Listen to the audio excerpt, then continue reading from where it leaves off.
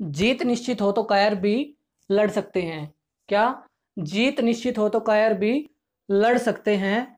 बहादुर तो वे कहलाते हैं जो हार निश्चित होने के बाद भी मैदान नहीं छोड़ते।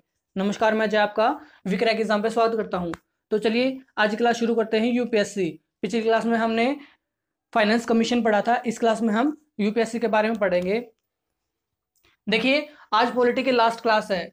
इससे पहले जो है पच्चीस क्लास हो चुकी हैं। आज छब्बीसवीं क्लास है और इसके बाद जो है सिलेबस पॉलिटी का हमारा फिनिश हो जाएगा। आप कोई भी एग्ज़ाम देखिए, उसमें जो है तीन से पाँच क्वेश्चन पॉलिटी से पूछे जाते हैं।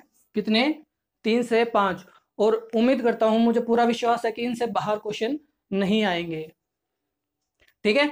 तो चलिए शुरू करते हैं आज की क्लास यूपीएससी देखिए यूपीएससी का फुल फॉर्म अगर बात करें तो क्या है? यूनियन पब्लिक सर्विस कमीशन क्या? Union public service commission. अगर इसकी फॉर्मेशन की बात करें तो देखिए ये जो है, एक अक्टूबर 1926 को जो है इसकी फॉर्मेशन हुई थी और शुरुआत में जो है 1926 में इसका नाम रखा गया था पब्लिक सर्विस कमीशन। क्या? Public service commission. और उसके बाद कुछ टाइम के बाद जो है इसे चेंज करके फेडरल पब्लिक सर्विस कमीशन क्या? फेडरल पब्लिक सर्विस कमीशन इसका नाम रख दिया था। और उसके बाद जो है, हमारे इंडिपेंडेंस के बाद इसका नाम फिर से चेंज करके जो है यूपीएससी रखा गया। यानी इसका तीन बार नेम चेंज हुआ है। सबसे पहले जो है, एक अक्टूबर 1926 को जो है इसका पब्लिक सर्विस कमीशन नाम रखा गया था। उसके कुछ टाइम के बाद इसे चेंज करके फेडरल पब्लिक सर्विस कमीशन करा था।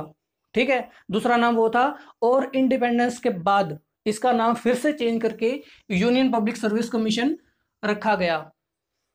आगे बात करते हैं अगर इसके आर्टिकल की तो देखिए ये आर्टिकल 315 से लेकर 323 के बीच में जो है अलग अलग सर्विस के लिए ये डिफाइन किए गए हैं।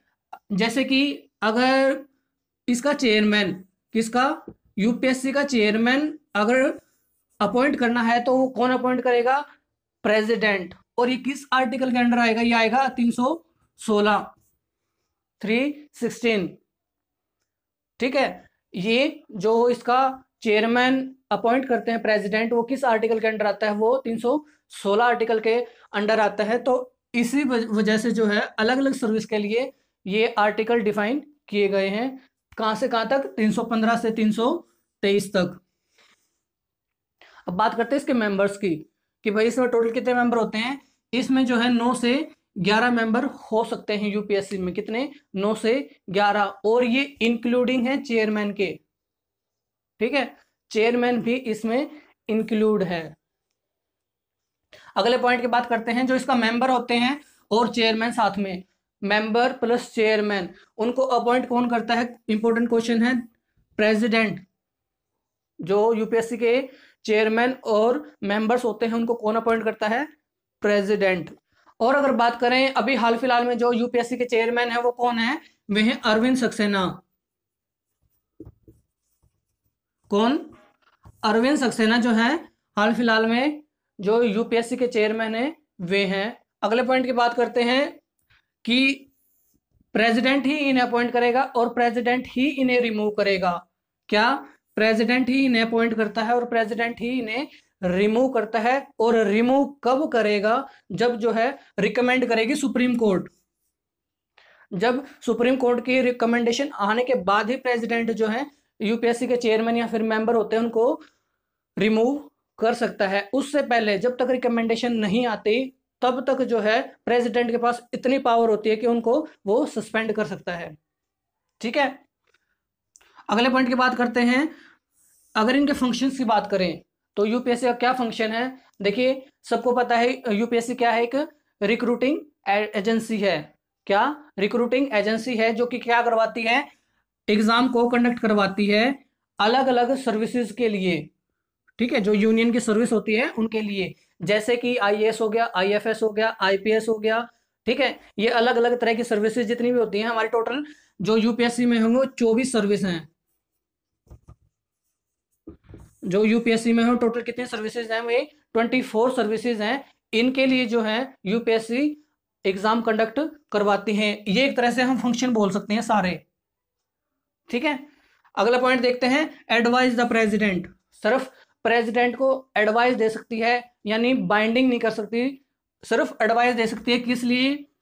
कि भाई उनकी अपॉइंटमेंट के लिए, जो यूपीएससी के चेयरमैन होते हैं मेंबर होते हैं, या फिर आईएएस आईपीएस जितने भी इसकी सर्विसेज़ होती हैं, उनकी अपॉइंटमेंट के लिए सेकंड उनके प्रमोशंस के लिए, और थर्ड जो है ट्रांसफ़र कहाँ से?